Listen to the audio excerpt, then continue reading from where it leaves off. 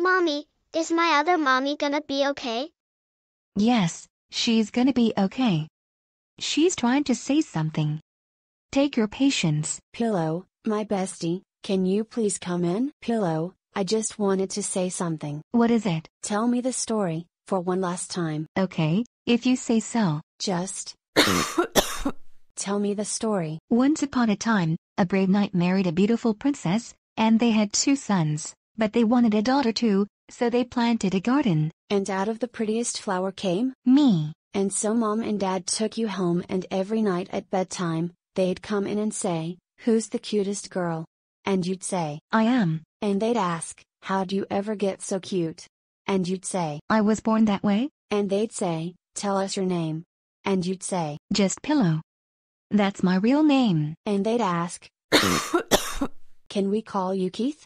And you'd say, No. Just Pillow. Call me Keith, and you.